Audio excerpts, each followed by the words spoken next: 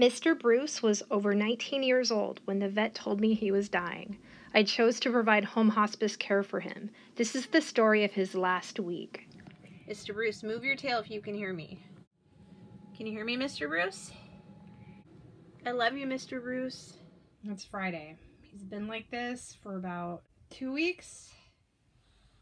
You're a good cat, Mr. Bruce. It's Saturday the 13th, and Mr. Bruce just ate a treat for the first time in a week. And he drank water.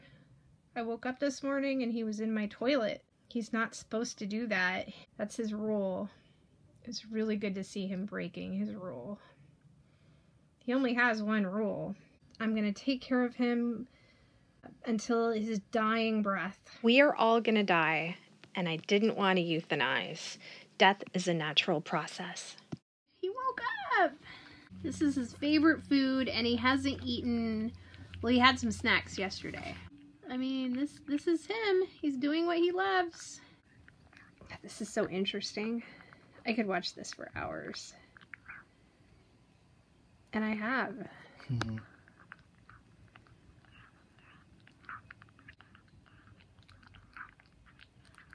You know some people like the no like noisy eating like lip smacking eating like it makes them so mad. This is like music to my ears. This is the best.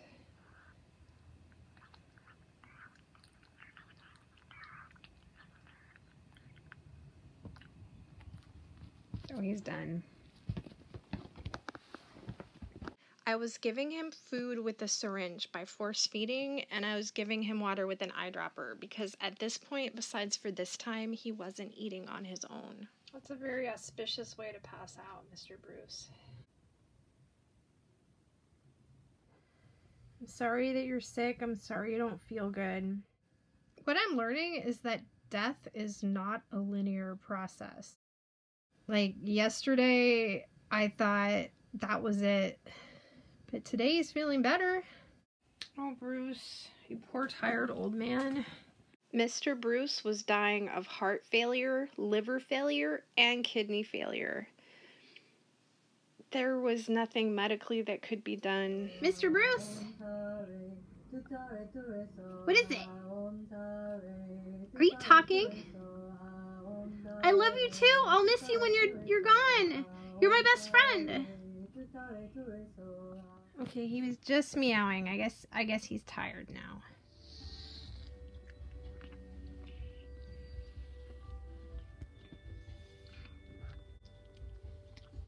That small piece of smoked salmon was Mr. Bruce's last meal.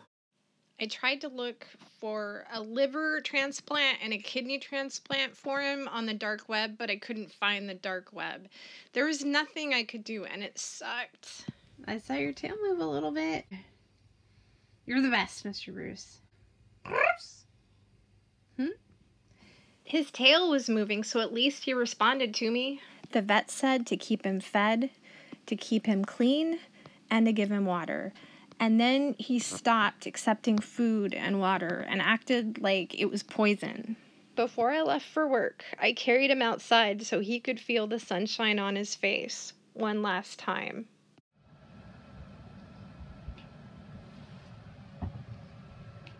It's okay to die if you have to die, Mr. Bruce. I gave him a bath and then he started having seizures. He didn't appear to be in pain. It's okay. Mommy's here. What is it, Bruce? I love you so much, Mr. Bruce. It wasn't easy watching him like this, but I wanted to spend every second I could with him because we were running out of time dying happens to all of us and it's natural and i wanted him to pass away in a place he loved mr bruce died at 11:38 p.m. thursday april 18th we spent over 19 years together and i miss and love him every day and i'm glad i did hospice care and i'm glad i didn't have him euthanized he was a precious, wonderful cat, and the world's just not the same since he passed away. Mr. Bruce, rest in peace.